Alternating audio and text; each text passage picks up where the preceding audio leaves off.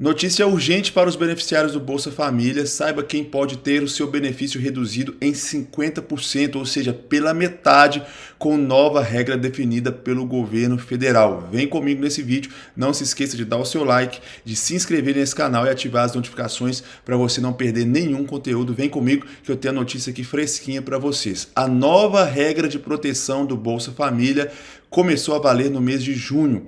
Com a mudança, algumas famílias vão ter o benefício reduzido pela metade, é isso mesmo, pela metade.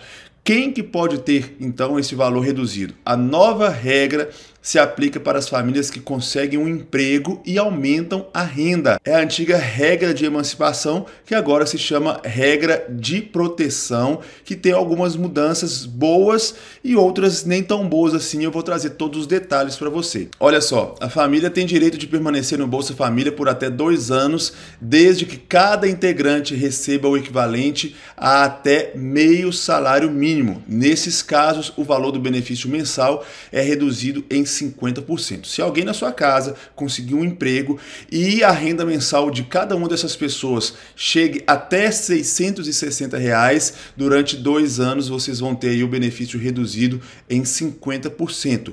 Em junho, 738 mil famílias estão em regra de proteção. O valor médio do benefício para elas é de 380 reais, de acordo com o governo federal. A maior parte das famílias na regra de proteção é na região sudeste, que infelizmente ou não é onde tem a maior gama de empregos, seguindo aí pela região nordeste, que é onde tem maior parte de beneficiários do Bolsa Família. O governo diz que o objetivo da regra é garantir maior estabilidade financeira às famílias e estimular o emprego e o empreendedorismo.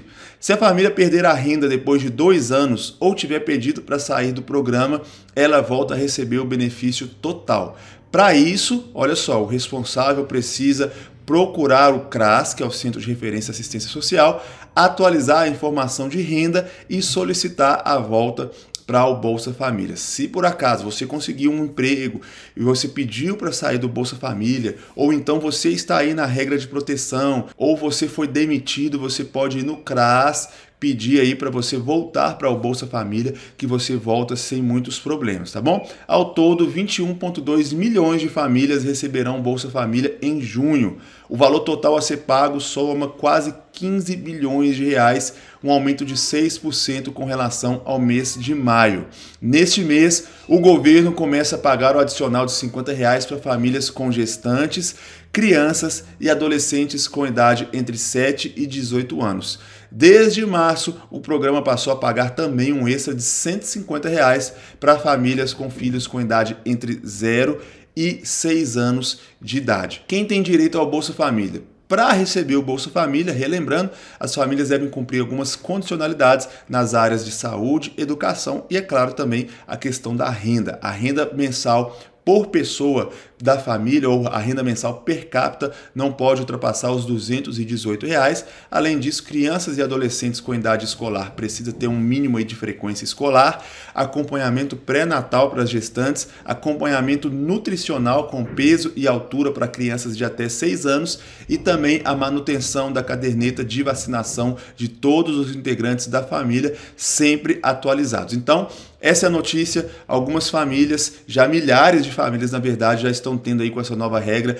a redução do seu pagamento, a redução de 50% no seu benefício, porque tem um emprego onde a renda mensal per capita não ultrapasse os 660 reais durante dois anos. Essa é a chamada a nova regra de emancipação, que agora chama regra de proteção. O que, que você achou dessa mudança? Antigamente, quando uma família conseguiu um emprego, uma pessoa da família conseguiu um emprego, ela permanecia no programa por dois anos recebendo o valor total. Agora ela permanece recebendo metade do valor. Escreve aqui nos comentários qual a sua opinião sobre essa regra de proteção. Espero que vocês tenham gostado do vídeo. Até o nosso próximo encontro. Tchau, tchau.